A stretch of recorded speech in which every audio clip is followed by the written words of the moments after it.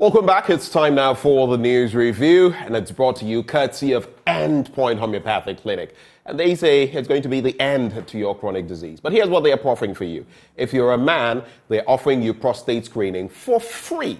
Free. You won't pay anything. If you're a woman, they're offering you fertility screening as well for free. Just make your way to any of their branches here in Accra at Spintex opposite the Shell signboard.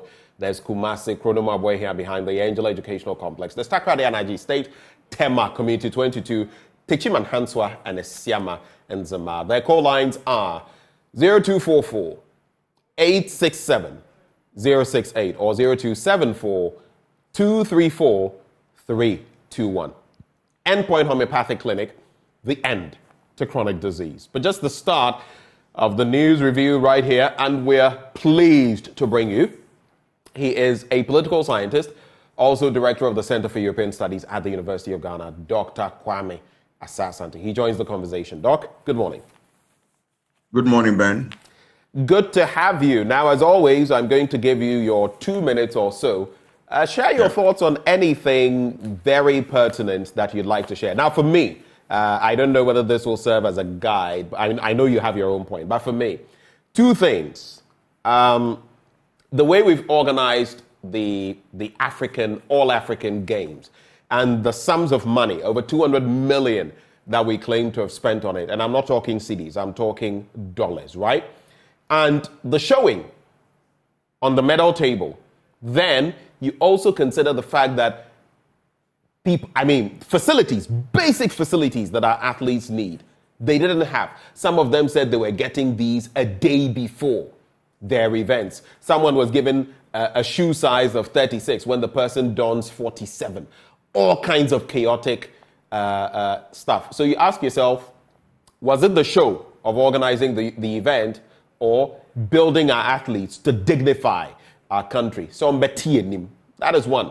The other bit is Dumsor it's becoming very erratic. Recently, I listened to Samuel Dubik Mahama, the, the managing director uh, of the, the electricity company of Ghana. And um, you can feel his pain, but there are also things being hidden. And it's not just to do with ECG, because they, they are just you know, distributors, they are down the chain.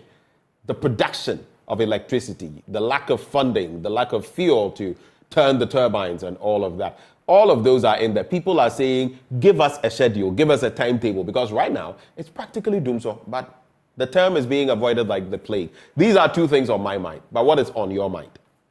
Yeah, I think um, I share your your your concerns, uh, but I'll depart right. a little to uh, the sub-region and look at uh, an equally disturbing issue, and I'll go to Nigeria.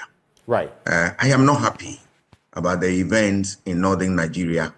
Oh, the kidnapping? I, yes. The 300 or on. so. Mm. Yes. And it's the latest. And uh, if you look at the fact that you are talking about kids who people have come pick them and taken them to where we have no idea. A few years ago, you and I witnessed what happened in uh, Chibok, the Chibok girls, yeah, and the rest of them. Um, it is a big worry and that these are people who are going to be leaders of Nigeria one day. And people are now taking them, have a field day, taking them, go and hide them, and do all manner of things to them. What are they living in the minds of uh, those children? Uh, you know, the, the pain is going to be indelible. It's going to create all manner of what psychological problems uh, for these young people uh, who have been abducted. Um, I, I, I, I, I am so surprised that the Nigerian government uh, is sitting down for this thing to happen. Nigeria uh, is the fourth best armed forces. They have the first uh, fourth of the best armed forces in Africa. It is about the 35th in the international system. They have all the military power. Nigeria Army has engaged in all manner of operations, difficult ones, and they have emerged as what great soldiers and all that. I'm not sure this is out of their reach. And I will, if everybody will go against Nigeria Army, I support them because I know the army and what they stand for and what they can do. But maybe the question, will, maybe the question, Doc, is: Is the political will there? That is that is what I'm coming to. Mm. That what is preventing Nigeria government for supporting this great army to defeat these people once and for all? I am so surprised. It is not the army. I I I I, must say it should be a problem with government. And that shows the weak capacity of the government to what? Uh, resource its military and then let them work the way they ought to work. Because I believe if Nigeria army is giving all that they need, I can tell you in no time they will root out these uh, criminals from the system. We, it's so worrying. And my my fear is that uh, you know if this thing is not kept, uh, it's likely to have effect in neighboring countries and then the sub-region and all that.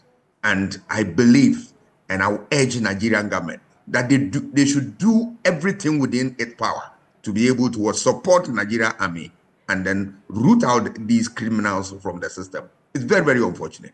It's, it's, it's not safe to be in that place. But where do the people go? Their own land. They are there. They are not what? At peace. All right. We vote government into office to take care of our lives and our property, and we will obey. Obedience to the state is compulsory simply because of the social contract that government will protect us and we will obey. All right. If this thing breaks down, where do we go? It's unfortunate. Nigeria government should do the needful. All right, they have to sit up, most definitely. And it always breaks my heart when these things happen because, like you said, there's that, as students of politics, we know there's that social contract where historically people yes. have ceded their power to yes. a certain nucleus of people to manage affairs. Uh, mm. and, and on the other hand, they also are given certain responsibilities and, and, rules and regulations they must abide by. But if that social contract is broken, and look at Africa, that is why some people would even point to the 1992 Constitution and say that in there, you are supposed to guarantee our livelihoods, even economically speaking. We must have jobs to do and all of that. It may be a stretch taking it to court, right? But it is there. You must safeguard the economic, you know, uh, privileges of the people. But uh, government in and out and country uh, here and there, they fail to do that. Sometimes you ask yourself, so what do you do in the end? Because I don't, like you mentioned, the Chibok uh, girls, that situation. And the sad thing they would usually take girls, a lot of them, and you know what happens? They end up raising yes. a lot of them, indoctrinating them. They become mm. wives too early, and these are young girls. Teens, they brought some of the others. girls with babies, with yes. babies, yes, with babies. Very unfortunate, very very unfortunate, and well, that's my fear. Because as a journalist and somebody who has worked for, uh, you know, international uh, club of children's rights, I believe that this is a call to duty I must speak on this matter. Thank you so much for sharing your passionate thoughts about that. Let's get into the papers now. The Ghanaian Times, uh, they say they are the most authoritative newspaper. Nkwanta communal uh, or communal conflict, lay down arms, engage in dialogue. Oti Regional Minister Designate appeals to feuding uh, factions. Then there's Telecel brand officially launched in Ghana. You know, Vodafone is becoming Telecel. And then NDC government will investigate land looting in Ga Adangbe area. Ex-President Mahama says so. As for the land and the, the buildings that have been sold, those ones, time and again, uh, only God knows. President opens maiden Africa Energy Technology Confab in Accra. And there's in sports.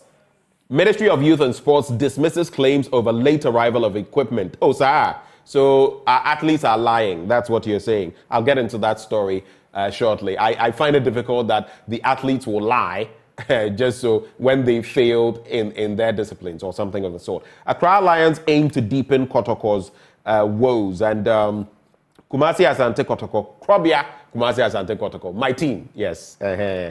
They are uh, in their quest to bounce back from last weekend's defeat to Karela United, will face off with inform Accra Lions in their Week 21 betPawa Ghana Premier League fixture at the Baba Yara Sports Stadium today uh, in Kumasi. And uh, it remains to be seen whether Asante Kotoko will be able to deliver.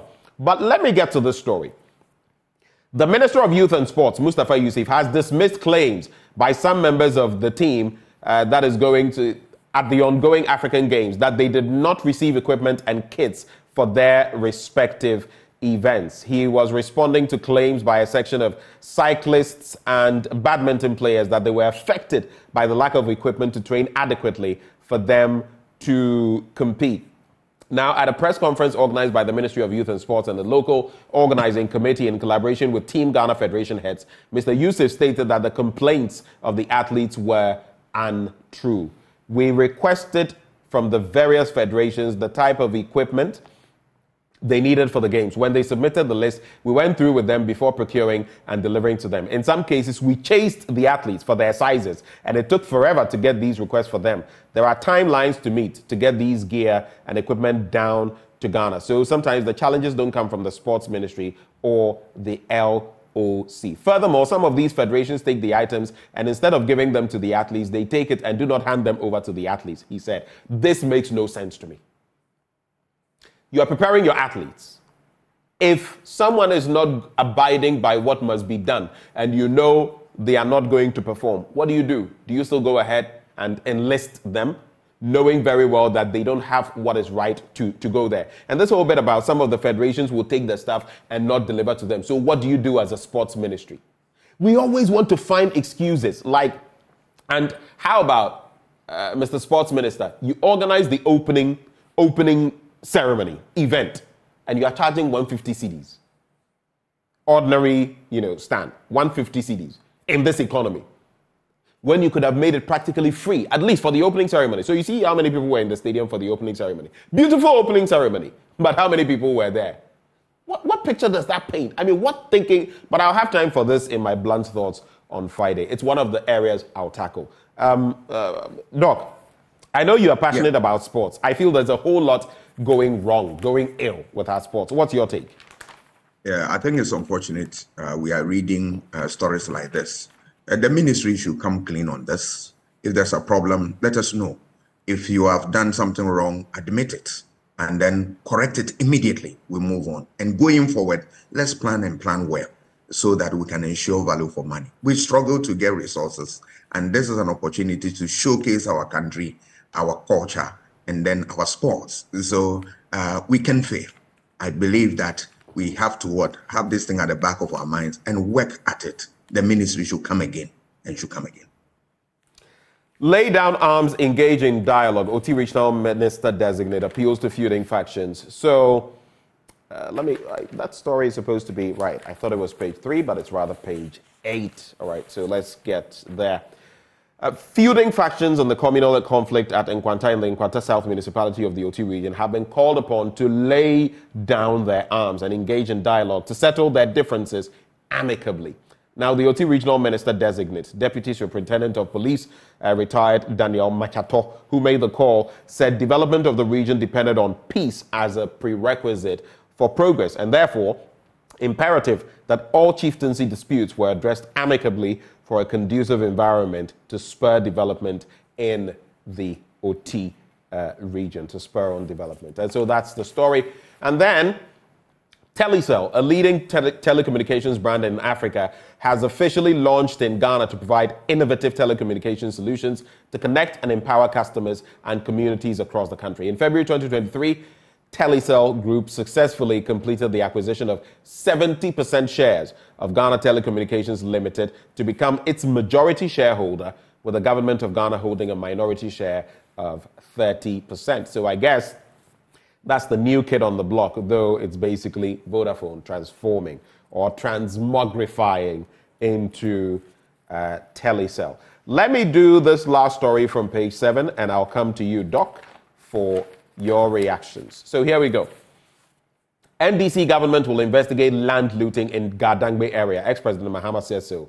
So the flag bearer of the National Democratic Congress in the 2024 elections, John Dramani Mahama, has promised to investigate the looting of lands in, Gadangbe when voted into power as president. Among other things, he said he would establish a commission of inquiry to look into lands that were given to the state for specific purposes but had been looted interacting with traditional leaders in the Greater Accra region as part of his Building Ghana tour, which started on Monday. He said his promise was in line with the law, which enjoins the government to give back lands which were no longer going to be used to serve the purpose for which they were given out. Uh, those are the stories. Any quick reflections on them? Yeah, I'll start with Nkwanta. Uh, it's unfortunate uh, we are having such development. Um, it's a terrain that I know very well, and uh, it's unfortunate that uh, you have, um, you know, family members fighting uh, among themselves, among the Chala and Achade uh, groups, and some of them. It's very, very unfortunate. It's my hope and prayer that um, they'll come together, smoke peace pipe, and then restore the peace in that area. That place is a very, a very beautiful place. Uh, you will love it. A long distance, and um, you know the serene, beautiful. On top of this is a notable area for agriculture production. Large, you know, hectares of yeah grown there, and other farm what products there, and it's also one of the best routes to the north. As soon as you cross the Oti, you are in Bimbilla, move away to Yendi, the rest of them. You take, uh, you know, Pasa area, then you are moving to uh, the, uh, the the the the Kete Krachi area.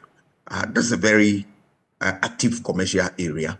So uh, I pray that whatever there is the need to do, all those who matter, I'm talking about stakeholders, should put themselves together and make sure that uh, there's peace in that area. Um, I know also that the area also has potential for what tourism. If you go and see uh, the land uh, uh you see uh, forest cover, you see even wildlife, amazing. Uh, so I pray that people will quicken the effort and make sure uh, that they restore peace. And I'll urge, I'll plead, I'll plead uh, with the leaders, the chiefs, that they should come together and then uh, fight for peace and then restore uh, that uh, uh, peaceful environment back so that people will live in in peace. I'm told that people even attack people on their farms and all that. All these things are worrying situation. I plead, I, I plead with them. I plead with them that they should maintain peace.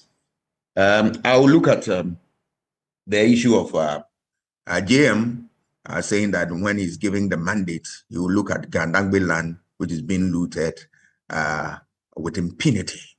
Uh, it's unfortunate we have such development. All right. Uh, if you look at Gandangbe lands, the whole city rests on that. Um, it is true that they have ceded some to the state by way of law and compensation. But look, uh, I think that we are giving them a raw deal, a raw deal. That the little that is left with them, uh, people are using all manner of means to take it away from them. Uh, it's unfortunate. Uh, sometimes, too, there is also a problem from uh, the traditional authorities, some of them, uh, who also you know, um, do not appropriate these things properly, and it creates all manner of problems for the state. I am particularly worried about the situation where uh, state officials uh, connive with, uh, you know, other people within the industry uh, to, to sell state properties to themselves. Very, very, very unfortunate. If you, you, you acquire land and you are not using it, uh, from the era of Professor Kasim Kasanga, we realized that it must be uh, given back to the owners. Why are they delaying? And why are you, uh, you know, creating that problem? It is unfortunate. We must know that, look, the people of Ga and Gandangba, Gandangbe region have really supported the effort of this country a lot. Look at the land that we set on at Eugene and other places and all that. They've supported this country a lot. So the little that is left for them, that is by law, must be given to them, must be given to them. Uh, we should not find ways of taking it away from them. And then one thing that also hurt me is the uh, Ben. Do you know the reason why Cape Coast was the capital of Ghana, which was in Cape Coast, was moved to Accra? The, the main reason, or one of the reasons, let me put it that way, is to is because uh, the place was so neat and it was so close to mountains, the Kwapim Ridge, which is also healthy. So they decided to move the state to here. Uh, today, what do we find? We have destroyed this place. Um, it, uh, it's, you know, most of the places is filthy, and the rest of them. In spite of the president's own promise, uh, we have not seen a thing uh, relative to uh, what we are seeing now.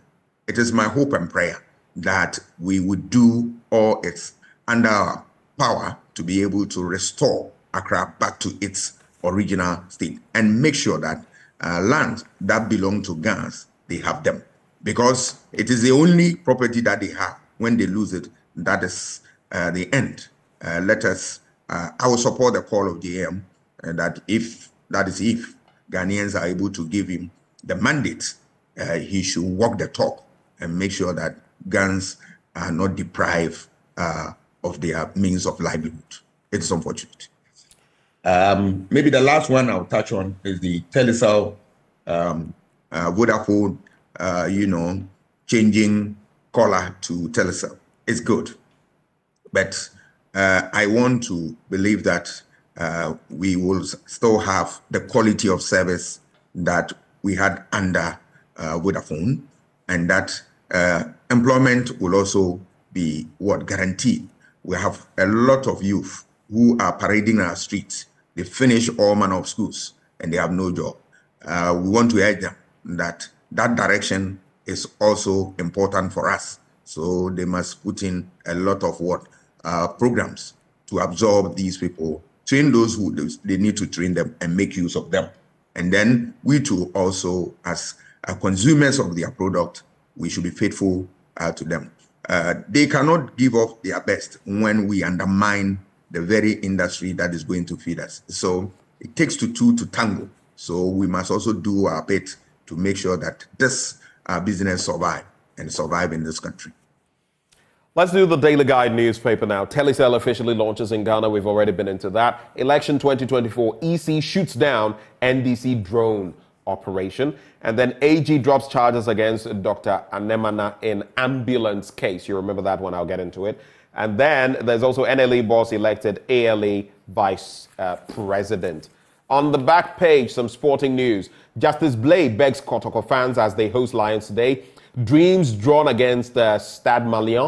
Uh, Dreams FC have been drawn against Malian Giants Stade Malien de Bamako in the quarterfinals of the 2023-2024 CAF Confederation Cup campaign. The draw for the knockout round of the competition was done on Tuesday, March 12, 2024 in Cairo in Egypt. Then, Napoli boss faces fine for pushing cameraman. And Napoli president Aurelio De Laurentiis uh, could face a heavy fine from UEFA after he pushed a cameraman in an ongoing spat with Italian uh, media. Some things you simply cannot do. But let's do this drone uh, story. So here we go.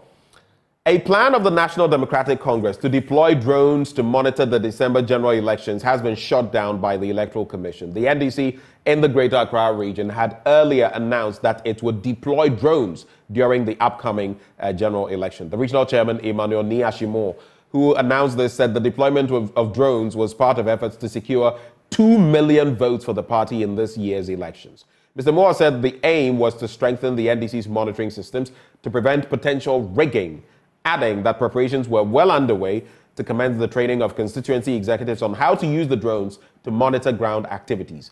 However, the EC has stressed that such a move would constitute an invasion of voters' electoral privacy and a breach of security protocols, and thus it will not be allowed. The EC's Director of Electoral Services, Dr. Serebour Quaicoe, responding to the strategy by the NDC on radio, said the EC had not received official notification from the party regarding the deployment of uh, drones. And the final story.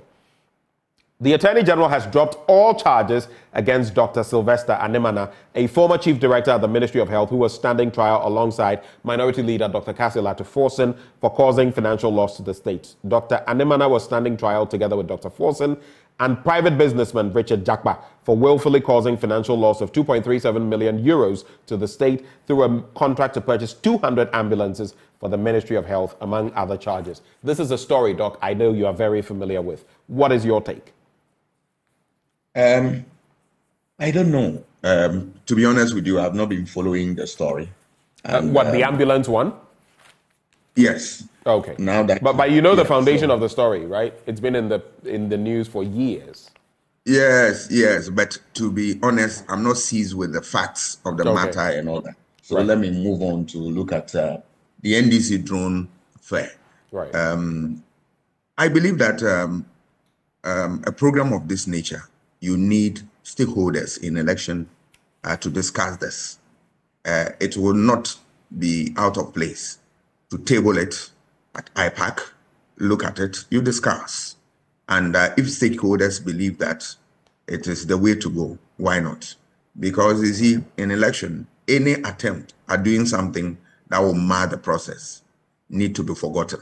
Right. Uh, so uh, I believe that much as it's an innovation and all that, uh, the stakeholders are important in this business. Look at it, of course, with inclusion of the, the security apparatus, looking at it whether uh, it doesn't invade privacy, whether it affects the electoral process and all that. Right. Once uh, you come out with uh, a decision from this group of people and it's right, everybody will defend you at each time. So I believe that this must be tabled, discussed at the appropriate forum, and then let them find what solution to that. So, so quickly on that, I agree with both sides. One, um, it shouldn't be close enough to determine who is voting for whom. That would invade privacy. But on the yeah. other hand, consider, for example, what happened in Yendi, right? Imagine we had drones. We probably would have known, because you can't have cameras on every situation. If we did, we probably would have known whether indeed there was a slap by uh, the member of parliament for Yendi or whether the journalist was being untruthful. So there are both angles to look at. Yes. And where there are skirmishes, for example, what happened in Techiman South, where some people mm. were unfortunately killed, maybe we could yes. have better footage and know yes. who did what. So there are different angles to the conversation. Yeah, and that's why I'm saying that the stakeholders should look at it. Right. Because if it's a good thing, I am not sure that uh, people have the courage to shoot it down. But if it is not, they will also express concern about it. So it must be discussed. You can't throw it away just like that. It must be discussed, and then they find the better. Maybe you would like to operate no closer uh, to where the, the, the polling is taking place and the rest of them. All these things will be part of the discussion so that whatever comes out as what the decision be owned and protected by the people. All right, so let's wrap with the next uh, few stories. Bank of Ghana predicts 13 to 17% inflation by December 2024. Uh, that's in the middle spread of the paper, but the last few papers, and then we can go. I believe I'll just do uh, the new finder and uh, the Ghanaian publisher. So there's um, BDAC strengthens Ghana India business uh, relations, and there's school farms back government to support with partial grant, land development, seeds, and fertilizer. You see this point. Uh, we, pictured here is Dr. Bryan Acheampong. I have said this time and again, when we were in school, we were weeding, we were farming, we were growing our own maize, yam, among other things. We were eating well. Okay, it was even then when we were complaining about oh beans, the oil, and this, and weevils and the rest. It's not like what we are seeing in our schools today. Why did we even stop this this kind of system? And today, our school people, S, uh, SHS, are going hungry. Let's not even pretend they are hungry. If parents are sending 100 cedis per week just to supplement, what does that tell you? What does that tell you? You go for cocoa, there's no bread, there's no sugar. What, what, what, what is that? So it's high time we did this. And if we are going back, well, better late than never. And the Ghanaian publisher, will Bawumia also pick a woman? Uh, that's the question in there. Pictured there. Irene Natoshi Adolate, uh, Akosua Frema Opare, of course, uh, the chief of staff, and then Ursula Owusu Ekuful. Uh, those are the picks there. Uh, th- those are the stories. Any quick reactions? We have a minute yes. and then we go. Yeah, you remember, Ben, I did uh, suggest here on this network right. that we should bring back what uh, school farms. You yeah. recall? No, we, we, we've right. had a, an agreement on that. I yes, don't even know why we yes. stopped that thing. Yes, and I am happy they are going to do that, but they should walk the talk. Because, you know, growing up as a child, at the Kropon PTC demonstration junior secondary school, we had farms. Sector, we had big farms. All right. Why can't you do the same? We can, if these things are managed well, you can what? Produce to feed the the students, and then you sell some to yeah. what? Uh, your neighbors or yeah. the neighboring or the uh, the communities mm. where you can raise what IGF. They can even go into what water production there produce Look, water. look, Doc, you are you are into this. I'm even thinking some of the the schools where the situation is right, maybe location and all, can go into Yeah. aquaculture, even fish farming. Aqua. They can do it. Yes, I, I said that uh, the previously. I said you can start with what you can add fish, uh, that's tilapia, uh, catfish, and then you can go to poultry. Yeah. And then depending on the suitability of the land, you can produce certain crops, certain other places you may not have. You exchange them, and then you supply other places, and you can generate IGF, support the school, tell government don't bring money, let me run uh, these things here, and then use their Just, resources. just, just what- support us. Just support us to do these things. And guess what? Especially the students who may be in agric, who may be interested in Yes. veterinary, whatever, or maybe um, animal husbandry. Maybe right from there they acquire certain skills, and and right from secondary school, even before getting to the tertiary level, they are able to do something for themselves. What would that do to unemployment? Yes. Because already Yes. they are gathering the skills. Yeah. You can do all and of that. Even even here, you can get people Yeah. who will have even uh, different areas of studies. They are science students and all that, but they will be engaged. I have a friend who went to Denmark to study, Right. and, and he was studying agriculture, and they taught him how to what, keep books, accounting books. Today, he's a chartered ac- accountant. He's a Right. Fifi Hamu. Can you imagine that? Yeah. That little, you know, uh, you know, course that he took in Denmark today has developed to become the best for him and all that. We Right. can start this. Right. And I'm happy. And it's just it should not be just a mere talk. They should support it and then make sure that it works. Right. And that will be the game changer. We don't need to import anything uh, and then bring to what the schools. We can feed ourselves by what? Feeding on what we produce. Right. Thank you so much, Doc, for joining the conversation. We are very grateful.